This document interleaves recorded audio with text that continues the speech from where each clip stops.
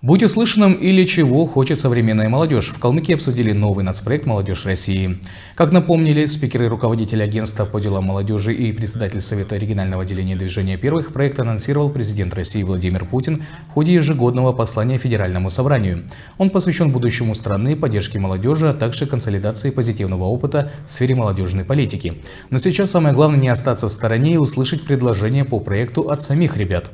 Мы здесь призываем нашу молодежь, нашу активную молодежь, не только в нашей республике, все, кто находится за пределами республики, активно вносить свои предложения, как вы видите данный национальный проект, какие мероприятия для своей малой родины, для своего поселка, для своего районного центра, города, где вы родились, для нашей столицы Илисты, как вы видите, как, в каком виде вы видите для нашей молодежи новые пространства, инфраструктуру, рабочие места, какие идеи можно воплотить в рамках этого национального проекта.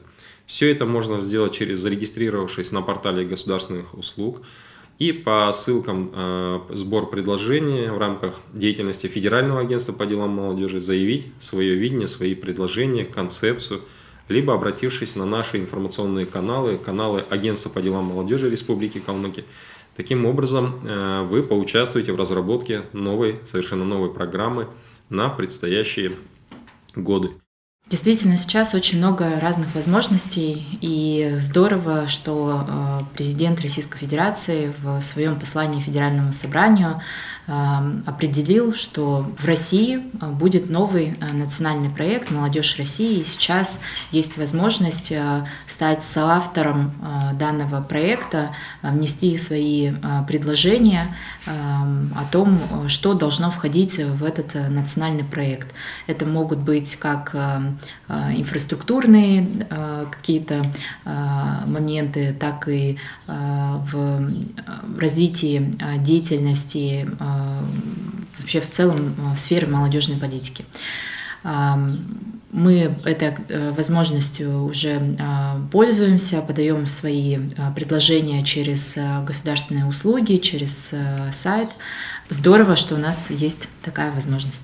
Помимо этого, в ходе общения с журналистами участники брифинга обсудили реализацию грантовой деятельности для молодежи на территории Калмыкии.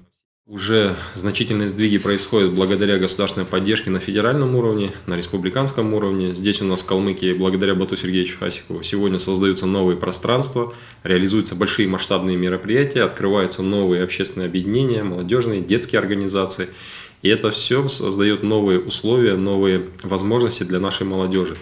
Молодежь это а, активно участвует в этих направлениях. С нашей стороны задача создавать для них новые условия. Помните такой проект, как «Регион для молодых», который реализуется по поручению президента Российской Федерации Владимира Владимировича Путина. Сегодня благодаря этому в республике проводится ремонт загородной резиденции «Дача Городовикова». На пороге мы стоим к э, ремонт, началу ремонтных работ другого значимого объекта. И сейчас уже дан старт разработки новой заявки Республики Калмыкия на предстоящие 25 и 26 года.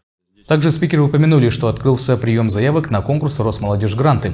Заявить проект, направленный на решение конкретной социальной проблемы, могут инициативные молодые люди от 14 до 35 лет включительно.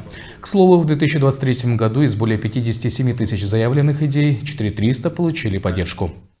Можете любую социальную проблему, которую вы считаете нужно решить, заявить и э, получить на это государственную поддержку, если вы пройдете и будете соответствовать всем критериям отбора. Эксперты у нас носят непредвзятый характер, экспертами становятся тоже отдельным отбором. По всей России будут эксперты смотреть вашу заявку. Чем качественнее она будет проработана, чем э, будет больше соответствия современным реалиям, тогда уже вы гарантированно получите государственную поддержку. Ребята здесь уже активно участвуют в этих направлениях за предыдущие годы э, с 3 миллионов до 200 миллионов увеличилось количество, объем точнее суммы, поддержанной э, в рамках грантовых конкурсов.